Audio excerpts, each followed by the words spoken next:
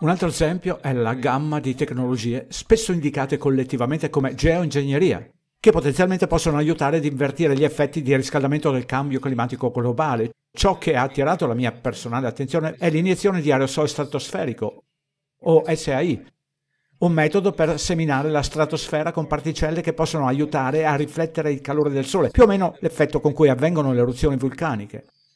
Il programma SAI potrebbe limitare l'aumento della temperatura globale, riducendo alcuni rischi associati alle temperature più elevate e fornendo all'economia mondiale più tempo per la transizione dai combustibili fossili.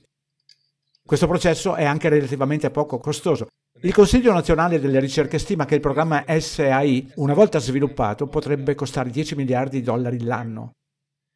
Per quanto promettente possa sembrare, portare avanti la SAI può sollevare una serie di sfide per il governo e per la comunità internazionale.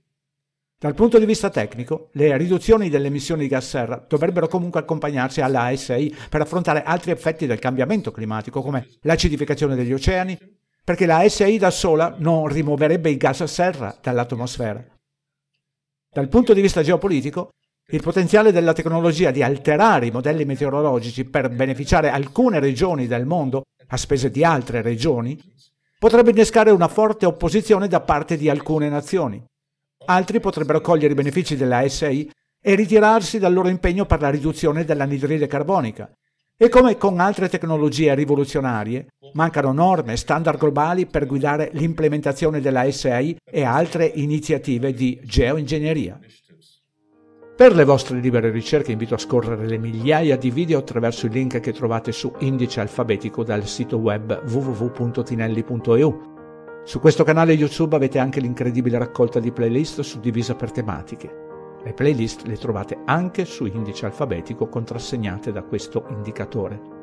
Sempre a disposizione il risveglio a colori solo nel formato ebook, ma nella versione cartacea è solo in bianco e nero. Ognuno è libero di eseguire e ripetere quanto proposto e scoprire la verità, oppure di lasciare il canale e continuare a credere e crogiolarsi dentro il sistema di indottrinamento.